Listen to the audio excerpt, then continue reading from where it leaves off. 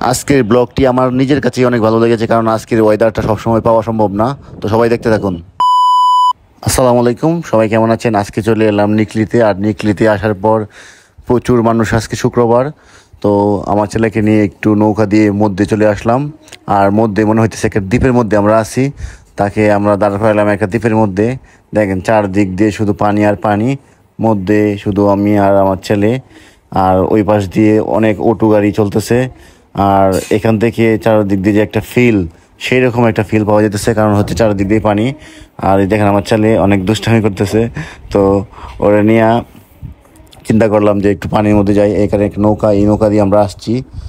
সে অনেক বাইনা করছে, তার কিছু খাওয়ানোর জন্য, তাই একটু খাবার দিলাম। আর না হয় সে দুষ্টামি করে বেশি।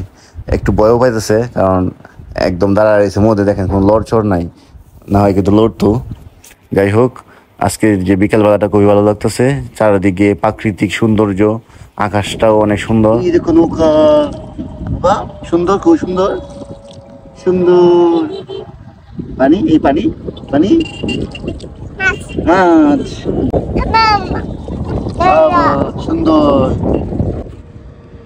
মুখ রাখ তো সে পানি দিয়ে খেলতে খুব পছন্দ করে, তাই সে পাগুলো নাড়াইতেছে, পানির মধ্যে খুব ভালো লাগতেছে ওর কাছে। মোহাম্মদ, এই কেডা কই মাছ? দেখি মাছ দেখাও, এদিকে দেখাও।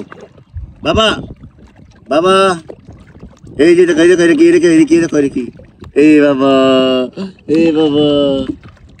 মাছ? পায়জামাটা দেখাও বুঝে যাচ্ছে বাবা।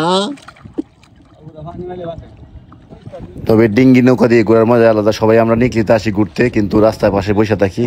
এভাবে কিন্তু সেই ফিলটা পাওয়া যায় না। তো ছোটো একটা নৌকা নিয়ে একশো টাকা দিয়ে ভাড়া নিয়ে তারপর একটু ঘুরলে আসলেই অনেক ভালো লাগে।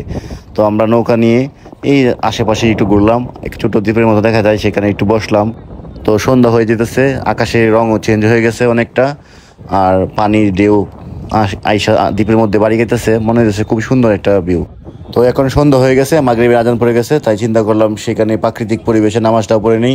যে যেখানে থাকি নামাজটা কিন্তু পড়তে হবে, নাহলে কিন্তু আল্লাহ তালা আমাকে ডান্ডা মানে ঠান্ডা মানে আলবো সবাই নামাজটা পড়তে হইব। আর এই প্রাকৃতিক ভিউয়ের মধ্যে নামাজ পড়াটা অন্যরকম একটা ফিল আর এখান থেকে আমরা এখন চলে যাওয়ার সময় হয়ে গেছে, কারণ যেহেতু সন্ধ্যা হয়ে গেছে, বেশিক্ষণ থাকা যাবে না। আমরা এখন এখান থেকে রওনা দিয়ে দিব। তো এখানের ভিউটা আমার কাছে ভীষণ ভালো লাগতেছে। মনে হইতেছে আর কিছুক্ষণ থাকলে খুব ভালো লাগতো। তো কি আর করার কিছু করার নেই চলে যেতে হবে। তো আজকে ব্লগটি এই পর্যন্তই। যদি ভালো লেগে থাকে অবশ্যই কমেন্ট করবেন এবং শেয়ার করবেন। নতুন কোনো ব্লগে আবার দেখা হবে। সবাই ভালো থাকবেন। আর যারা এই পেজে নতুন ভিডিও দেখতেছেন অবশ্যই পেজটাকে ফলো দিয়ে রাখবেন। আপনাদের সাপোর্ট ছাড়া সামনের দিকে এগিয়ে যাওয়া অসম্ভব। আপনাদের ভালোবাসায় এই পর্যন্ত এসেছি। সবাই ভালো থাকবেন দোয়া করবেন। আসসালামু আলাইকুম। আল্লাহ হাফেজ।